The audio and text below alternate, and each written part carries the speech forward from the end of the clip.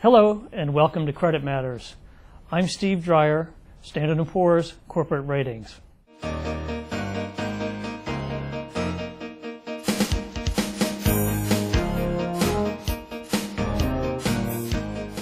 Today, I'm here with Aneesh Prabhu, Senior Analyst in our Utilities and Infrastructure practice, to talk about the recent announcement by AES Corporation to make an all-cash bid for DPL, the parent company of Dayton Power and Light, a regulated electric utility.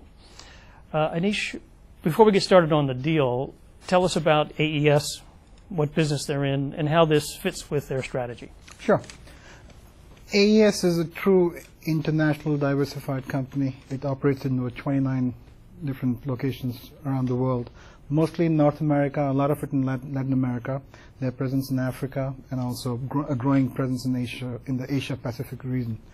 Uh, they are in contracted generation. Um, and, co- and long-term contracted uh, businesses is, is their mainstay at the moment, although they are still in competitive markets where they, they have merchant assets. And they're into integrated utilities. At the moment, their bias is towards uh, taking assets which are either in alternative energy sources, such as wind and solar, uh, but uh, acquiring assets uh, which reduce their overall cash flow profile in terms of the quality of cash flow is also part of their strategies. Now, the interesting thing about them is they are, they are heavily into alternative investments like solar and wind, like I mentioned, but they do a lot of fossil generations, and they are currently constructing two coal plants um, outside of the U.S. So primarily a what we would call a merchant company, a, an unregulated power company, power developer, global. Um, some years ago, they acquired a regulated electric utility, IPALCO, uh, Indianapolis Power uh, Company's parent. Uh, this new acquisition, I suppose, is continuation of that uh, trend towards buying what more stable assets um, relative to their overall portfolio. Yeah, like I mentioned, uh, utility assets are part of their part of their uh, strategy.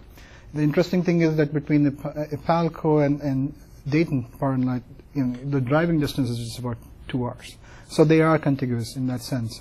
Uh, they are in different jurisdictions in terms of um, state regulatory uh, reviews, but uh, you know, over time, I'm sure there could be some some synergies uh, in the two businesses.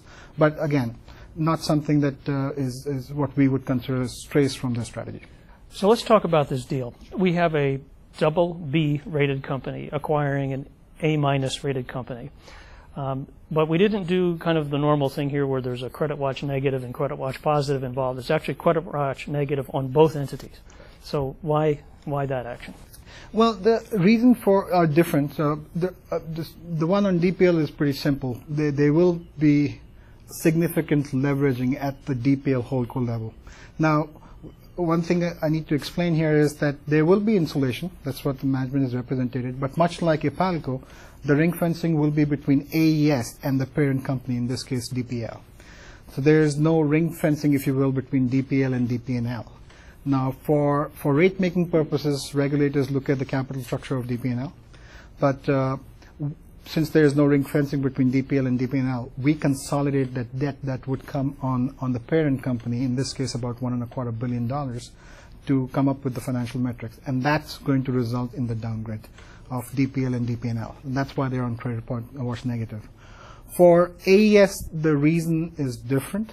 Uh, we we do know that about a year ago, in March of 2010, they had got about one and a half billion dollars of equity investment from CIC, China Investment Corporation, and they'd used that to temporarily pay down debt. We we, we knew that that was a temporary pay down, but at the pace at which they have leveraged back, um, that has been a surprise to us. Uh, we did expect leveraging back, but not, but we expected that over a period of time.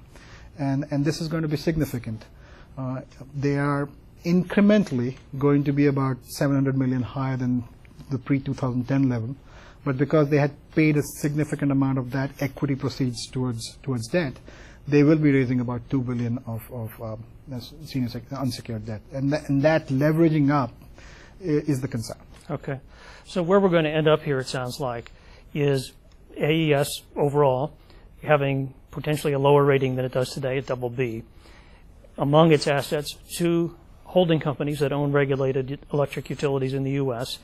Uh, both of those remaining investment grade, most likely, but at the low end of investment grade. Is sort of where we see that company. That is correct, and that has to do with the ring fencing structure that we mentioned between AES and uh, and, and the DPL group of companies. What the ring fence structure does is to insulate the credits, and that will, uh, depending on the on the on the construct of the ring fencing, will will will basically uh, determine the notches. Gotcha. Well, thank you, Aneesh, and thank you for watching. I'm Steve Dreyer for Standard & Poor's.